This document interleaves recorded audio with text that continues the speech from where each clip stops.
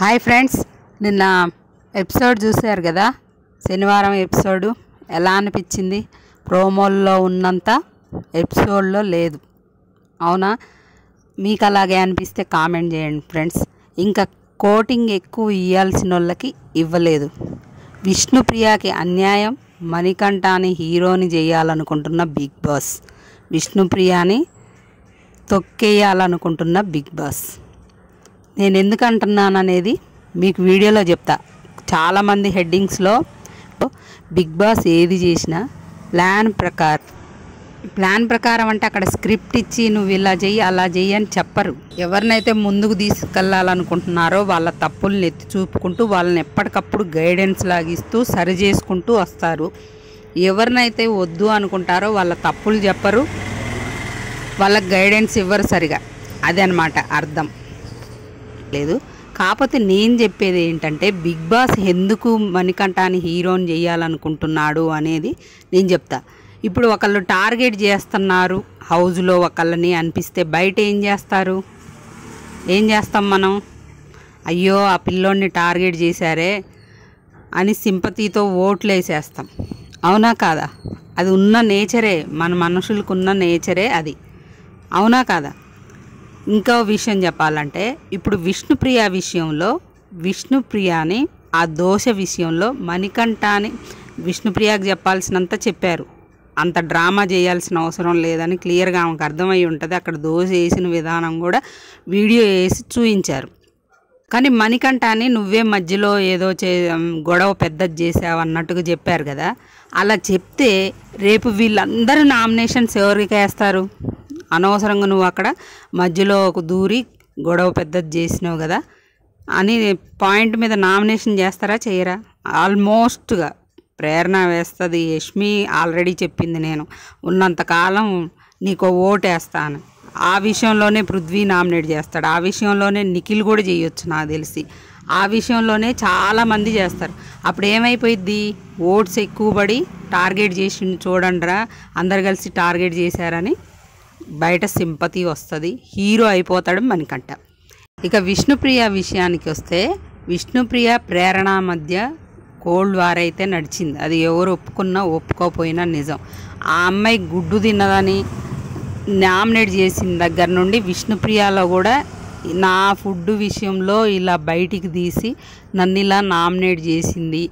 గుడ్ల దగ్గర నామినేట్ చేసింది. అది బయటికి ఎలా వెళ్ళిందో ఈ అమ్మాయి తిండిపోద్ది ఇంత తిండిపోద్దా అని. వాళ్ళకి ఫుడ్ లేకుండా తినేసిందా అని ఎలా వెళ్తుందో అని ఆమె అనుకుందనమాట. మనసులో అయితే గట్టిగా పెట్టుకుంది విష్ణుప్రియ. అవి ఆ దోశ దగ్గర కూడా అలానే అమ్- అమ్మాయి వేసిన విధానం బాలే బాగాలేదని అనుకుంది కానీ ఈమె అలా దాని దగ్గర ఏదో రాద్ధాంతం చేద్దాం డ్రామా చేద్దామని విష్ణుప్రియ అనుకుంది. ఆ అమ్మాయిని ఏదో ప్రూవ్ చేద్దాం మనసులో ఏదో పెట్టుకొని చేస్తుంది ఫుడ్ దగ్గర నా గుడ్ల దగ్గర అంతే చేసింది కదా అని ఈమె ఊహించుకుంది కానీ అక్కడ జరిగిందైతే మనకంట చెప్పే దాంట్లో తప్పేం లేదు. ఆ అమ్మాయి వేసినప్పుడు చెప్తున్నాడు నేను ఆ అమ్మాయి వేసిన విధానాన్ని చూడలేదు.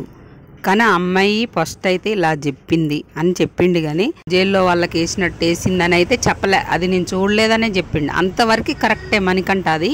ఇక్కడ మణికట్ట తప్పు కూడా ఏంటంటే అంటాడు ఫుడ్ విషయంలో వచ్చింది కాబట్టి నేను కూడా స్టాండ్ తీసుకుంటా అని మాట్లాడతాడు. ఆయన ఈ కెమెరాల కోసం మన కంటెంట్ కోసం చేసిండు అది. కాకపోతే ఈయన ఇంకా అలా చెప్పడం వల్ల వాళ్ళిద్దరు మనసులో పెట్టేసుకున్నారు ఇద్దరిగా కక్షలాగా. అది గుడ్డు టాస్క్లో కనిపించింది విష్ణుప్రియ అనే ఆ అమ్మాయిని హ్యాండిల్ చేసే విధానం ఆమె మాటలని ప్రేరణ కూడా తక్కువేం కాదు అక్కడ. చాలా కట్ చేసిండు కానీ మనకి రెచ్చగొట్టింది తను. ఏంటంటే నబీల్ పోయి ఏదో పట్టుకోవాలని ఏదో అను అన్నాడని విష్ణుప్రియ అని అన్నది కదా. ఆ అమ్మాయి ఏమన్నది? డోంట్ టచ్ మీ అన్నది అబ్బాయి దగ్గరకు వస్తాడని గుడ్లు లాక్కుంటాడని. అంతేగాని ఆ అబ్బాయి ఏదో ఉమెన్ కార్డ్ వాడాలని ఏం చేయలేదు కదా. ఆమె నన్ను ఇక్కడ ముట్టుకున్నావు నన్ను ఇక్కడ టచ్ చేసినావు అని చెప్పలే. అమ్మాయి అది ఎక్స్ప్లెనేషన్ ఇచ్చింది. సారీ కూడా చెప్పింది నవిల్కి నువ్వు ఇక్కడ ముట్టుకున్నావు అక్కడ ముట్టుకున్నావు అని చెప్పలేదు నేను. నా దగ్గరకు వచ్చి పట్టుకుంటావేమోనని డోంట్ టచ్ మీ అన్నా నేను అని చెప్పింది. దానికి ప్రేరణ ఏం చేసింది? ఉమెన్ కార్డ్ తీస్తావు నువ్వు బంచిక్ బంచిక్ అంటూ ఎగిరింది డ్యాన్సులు వేసింది ఆ అమ్మాయి అక్కడ గుడ్లు పట్టుకుంటుంటే. చాలా రెచ్చగొట్టింది. ఆ వీడియోలన్నీ మనకి బిగ్ బాస్ అయితే వెయ్యలేదు. వెయ్యలేదు. ఆ తర్వాత ఈమెకి ఇంకా అసలే కోపం మీద ఉంది. అది ఈమె మనసులో పెట్టుకొని అక్కడ సీత ఈమె హ్యాండ్స్ పట్టుకున్న దగ్గర నా జోలికి వస్తే ఇట్లుంటుందని రఫ్గా హ్యాండిల్ అయితే చేసింది. ఆ తర్వాత సీత దగ్గర గొడవ జరిగేటప్పుడు అమ్మాయిని కాళ్ళతో ప్రేరణ తన్నింది. ఈ అమ్మాయి వెళ్ళింది. వెళ్ళినప్పుడు ఫస్ట్ రాక్షసి ఇగో ఈ- ఈ రాక్షసి వచ్చింది ఈ రాక్షసి వచ్చింది అనేసరికి ఇంక మండి గట్టిగా ఇట్లా చేతుల దగ్గర పిసికింది. రక్కింది కొరికింది ఇట్లాంటివన్నీ వేస్ట్. ఎందుకంటే రక్కలే కొరకలే. గట్టిగా అయితే ఇట్లా పట్టేసుకుంది చేయి దగ్గర. అది అయితే ఎవరు ఒప్పుకున్నా ఒప్పుకోకపోయినా నిజం. నేను ఇక్కడ విష్ణుప్రియ కరెక్ట్ అని చెప్పట్లేదు. తప్పు ఉంది కాబట్టి ఆ తప్పుని నాగార్జున గారు సరిచేయలేదు రేపు మళ్ళీ చేసే అవకాశం ఉంటుంది. ఆ తప్పుని ఎత్తి చూపిస్తే నువ్వు ఇలా చేయడం కరెక్ట్ కాదమ్మా. అమ్మాయి చెప్తుంది కదా అమ్మా నన్ను ఇలా కొరికి రక్కేసావు నన్ను ఇలా హ్యాండిల్ చేసిందని అది నువ్వు చేయకుండా ఉండాల్సింది. అమ్మాయి బాధపడ్డదంటే అమ్మాయికి ఏదో ఇబ్బంది కలిగి ఉంటుంది కదా అలా చెయ్యకు ఇలాంటివి చెయ్యకూడదు. ఎంత ఇది ఉన్నా కూడా అలాంటివి చెయ్యొద్దు. అనేది చెప్పాలన్నమాట. అలా చెప్పడం వలన ఆ అమ్మాయి తప్పు సరిదిద్దుకుంటుంది. కాకపోతే చెప్పకపోతే మళ్ళీ చేయడం వల్ల ఏమైద్ది? మన జనాల్లో బ్యాడ్ అయిద్ది. మణికంఠ అని చూడు అన్నీ చెప్పారు. నువ్వు ఎక్కడెక్కడ తప్పులు చేసినావు అనేది. ఆల్రెడీ um, అక్కడ క్లాస్ పీకారు కదా విష్ణుప్రియ విషయంలో. మళ్ళీ కూడా నువ్వు రియలైజ్ కావట్లేదని కూడా చెప్పారు. తప్పు చేసి రియలైజ్ కావట్లేదని చెప్పటంతో పాటు కన్ఫెషన్ రూమ్లోకి పిలిచి యష్మి విషయంలో చేసిన తప్పు చూపించారు అలాగే నువ్వు ఈ విషయమే కాదు ఇంకా కూడా హగ్గుల విషయంలో బాగాలేదు అనేది చెప్పారా చెప్పలేదా?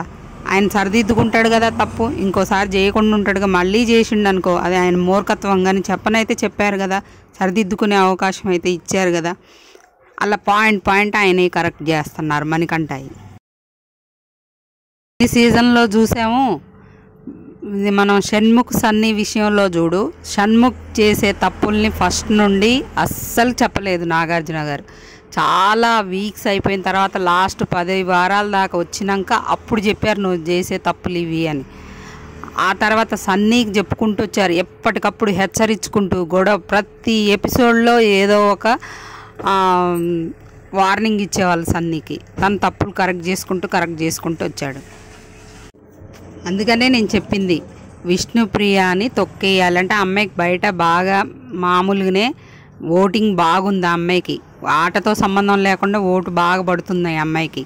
ఆట ఎలా ఆడుతుంది అనేది కాదు. ఆమె ఫ్యాన్స్ ఉంటారు అవన్నీ ఎవ్వరు పట్టించుకోరు. అదంతా గేమ్ గేమ్లా చూడాలని అందరు చాలామంది అనుకుంటారు అనమాట అవి కావాలని వాళ్ళు చేసే ఇది కంటెంట్ కోసం చేసేవి గేమ్స్ కో- ఇది గేమ్ కోసం చేసేయి అని అందరికి తెలుసు. కాకపోతే మరీ ఎక్కువ తప్పు చేస్తే చెప్పలేం కానీ ఈ చిన్న చిన్న విషయాలని వాళ్ళ ఆమె ఫ్యాన్స్ పట్టించుకుంటారని నేను అనుకోవట్లే కానీ మణికంఠకి ఏ ఫ్యాన్ బేస్ లేకుండా వచ్చి పెంచుకున్నాడు అనమాట ఫస్ట్ తను చేసింది కొంచెం నెగిటివ్ అయినా ఫ్యాన్ బేస్ అయితే పెరిగింది ఆయనకి.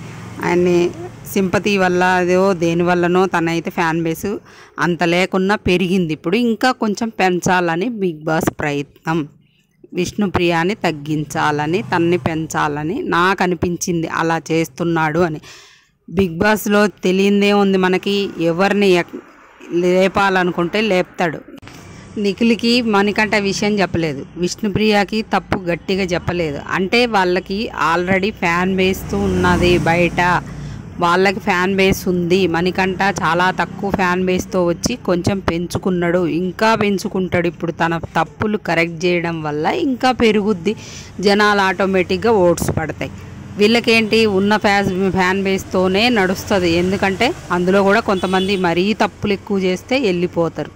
అంతే అలాగే కానీ కొత్త వాళ్ళు అయితే ఎంటర్ కారు కదా వీళ్ళకి. అలా అన్నమాట. ఇంకో విషయం చెప్పాలి ఇక్కడ. యష్మి విషయము.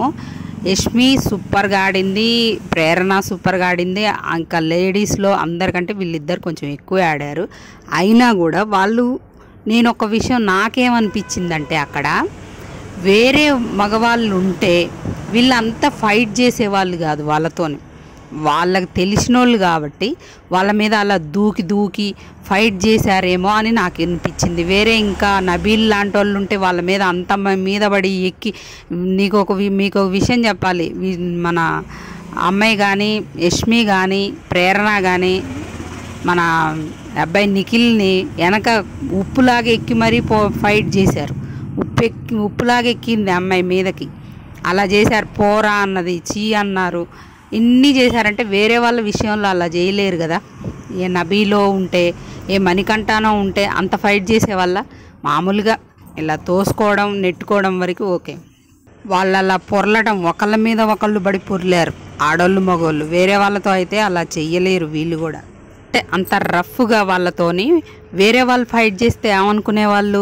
ఏ సీతానో సోనియానో విష్ణుప్రియానో చేస్తే ఏందానా అలా ఎక్కుతుంది మగవాళ్ళ మీదకి? అలా ఆడాలనా? అవసరమా అని అనేవాళ్ళ కాదా చెప్పండి? సార్ ఆలోచించండి మీరు. నేను చెప్తున్నాను కాదు మీరు కూడా ఆలోచించండి. నేను అనేది అలా చేశారు తప్పని అనట్లే. ఆ బాండింగ్ వాళ్ళ మధ్య ఉంది వేరే వాళ్ళు కూడా మనం తీసుకోలేము యాక్సెప్ట్ చేయాలనుకుంటున్నాను ఇది వాళ్ళు చేశారు కాబట్టి మనం వీళ్ళు వేరే వాళ్ళలాగా పోరాడారు అది కూడా అనుకుంటున్నాం ఫ్రెండ్స్ అదే వేరే వాళ్ళు చేస్తే యాక్సెప్ట్ చేసి ఆ ట్యాగ్ ఇయ్యగలరా అని నా ఒపీనియన్ అన్నమాట. ఇంకో విషయం చెప్పాలి మీకు. మన నిఖిల్ గేమ్ గెలుస్తాడు కదా సోనియా మీద. అప్పుడు యష్మి వెళ్ళి ముద్దు పెడుతుంది చెంప మీద. ఇలాంటివి వేరే వాళ్ళు ఏ విష్ణుప్రియానో ఇంకెవరో పోయి పెడితే దాన్ని బయట ఎంత నెగిటివ్ చేసేవాళ్ళు? అది నేను అనేదన్నమాట. నేను అనేది అదే అనమాట మనం జనాలు చూసే దాంట్లో కూడా మనం తప్పుని తప్పుగా ఎలా దేన్ని ఎవరి విషయంలో చూస్తున్నాం ఎవరి విషయంలో చూడట్లేదు అనేది కూడా మనం తెలుసుకోవాలి.